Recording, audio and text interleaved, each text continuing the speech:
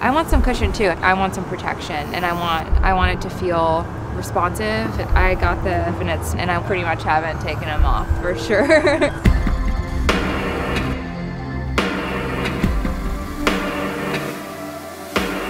what Under Armour does is take our feedback very seriously and then implement it into the shoes. We actually sat with runners and said, what do you need in a running shoe?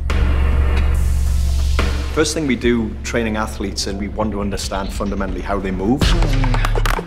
And our goal was to defy the physical and produce something that provides plush cushioning experience. We have the other part of the formula, which is the energy web. And the whole purpose of that textile is to contain all that energy that comes into that soft cushion core. And it's an incredibly smooth ride. It's the right amount of cushioning with the amount of bounce. I would give this shoe to the runner's runner.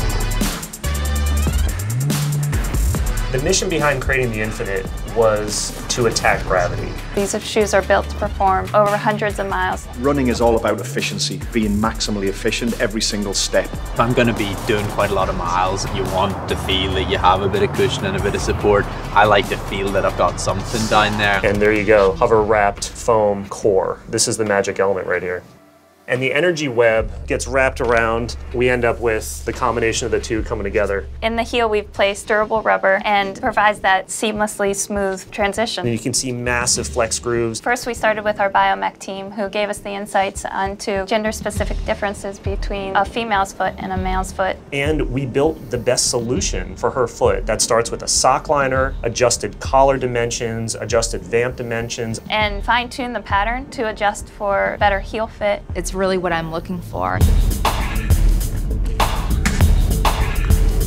So there's great convenience when it comes to the HOVR Infinite with the connected technology. It's got a chip in the right foot, and that chip is powered for the life of the shoe. We're data driven as runners now. Technology in the shoe allows us to go really deep with athletes. So we can start to look at the athlete's cadence, we can start to look at their stride length, and it will manifest in better times, better pace, more control, less energy dissipation. It allows you to run with a connected experience with your phone on you, or it allows you to leave your phone at home. It turns on and connects with your Map My Run app. It allows us to actually put coaching plans and program that are much more customized and personalized to each athlete's run. It just makes you feel like you can do anything.